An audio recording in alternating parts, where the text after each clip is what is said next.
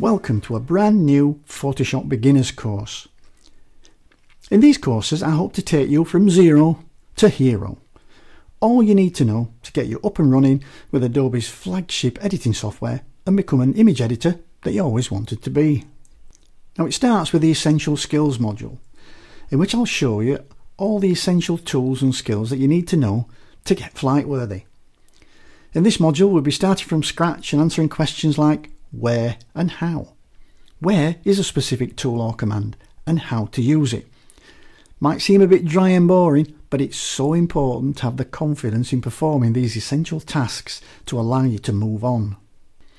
Level 1 will get you off the ground using the tools and skills learned in the Essential Knowledge module and understanding how to combine them together to correct and enhance your images. Once in the air, we'll follow this up with more challenging tasks in Level 2. Well, we'll get you up to cruising altitude, creating all manner of multi-layer composite images. Level 3, you'll be performing aerobatics and looking to the stars.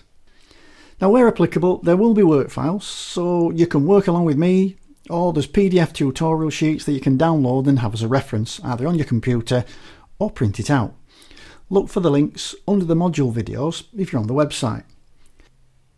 Remember, if you're an absolute beginner, or just want a refresher start, then complete the Essential Skills module first. So, let's get fueled up and begin the journey with the Essential Skills module.